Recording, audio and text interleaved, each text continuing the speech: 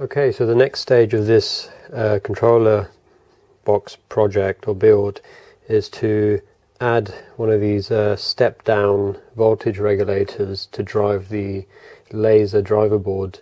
The driver board laser output will be wired to the aviation panel mount and the TTL input will be directed via the front panel switch which selects between the laser and the spindle relay modes. So I need to mention that this video was partly made possible by a company called Banggoods who sent me out a few items for the build. These were a 2.5 kilowatt laser module, a driver board, some green safety goggles, and a momentary switch which I later realised I didn't need. I'll provide links to all these items in the description but a full parts list for the project will be available on my website article. I was a bit stuck with these because they sent me the driver board and I asked them what kind of pins fit onto here and they didn't happen to sell them and uh, really something like this should be supplied with screw terminals because um, frankly it just makes the whole process a lot easier to connect. But I don't really fancy trying to desolder these. Um, I'm not particularly great at soldering and I can imagine making a bit of a mess up of it. Okay so the first thing I'm going to do is wire up um, the power cable to this uh, step down voltage regulator. And I'm going to wire it up the same way I did with the uh, GRBL shield with the option of using an emergency stop to cut power to it and also therefore the driver, laser driver. So I didn't realize but these e-stops actually come as modular components. And on this one for example you have red on one side and green on the other. And they are opposites. So this is normally circuit normally open, circuit normally closed. Um, but you can dismantle these and swap them over. Nathan pointed this out to me from Opentronics, and I'm just going to share his video there of how to do that. It's very useful, and what it means is I'll be able to now use one emergency stop to both terminate the power to the GRBL shield and the laser driver at the same time. So I'm just going to cut the wire for that, crimp it and get it ready. Okay, so I'll just show you the first part. I'm not going to wire this up yet, but this is what it should look like. So you've got the two terminals that go from the power supply unit into the voltage regulator via what will be the e-stop. The laser originally came with this power supply unit and uh, Big Clive done a review of the uh, power adapter and um, it's pretty scary. I don't think I'm going to use this with anything ever but what I would like to try and do is utilize the power connection and this half of the cable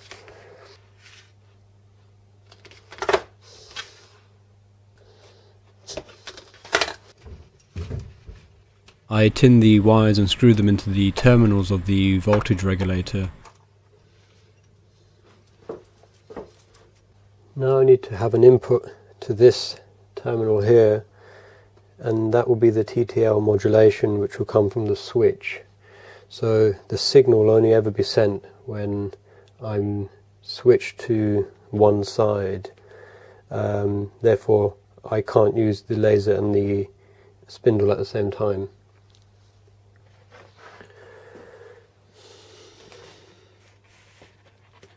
I added heat shrink to my wires to protect them and make them a little bit more rigid in the control box.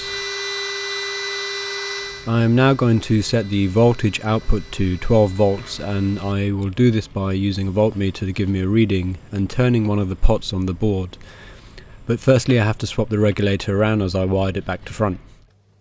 There are two pots and one is for the voltage and I think the other should be for the current but I won't be able to measure that until everything is wired up. Okay so I'm just going to change the output voltage on this uh, voltage regulator and the way I'm going to do that is using the voltmeter so I've set it. Turn that on. And then one of these pots will change the voltage and I want that to be 12 okay that one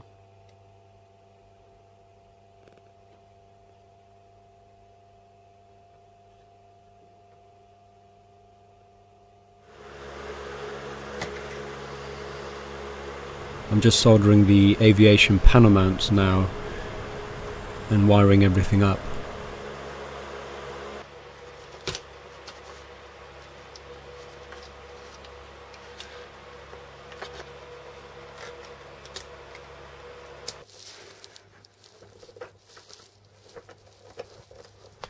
I ended up going with DuPont connectors which had the same pitch of 2.54mm as those on the board. These were quite small and I couldn't really film them, and again screw terminals would have been much easier and more durable.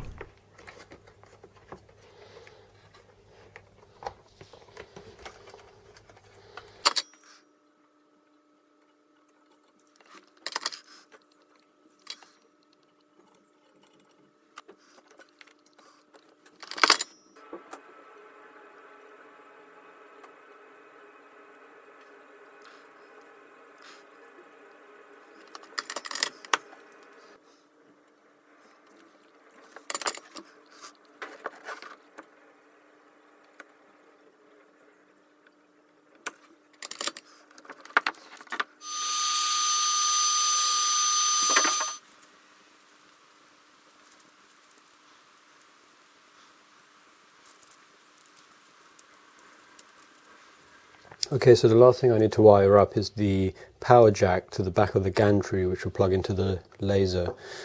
So this is the opposite end of it. This will plug into the control box. I'm using the original 24 volt wiring that I'd put through the drag train and it drag train drag chain. Um, I'm not going to rewire this. It should be good enough for the laser.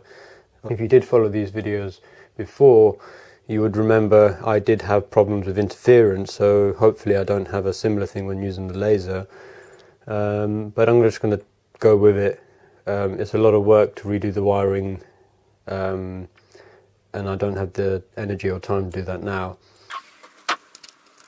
So I ran into a new problem where the driver board was powering the laser even though the selection switch was set to the middle position.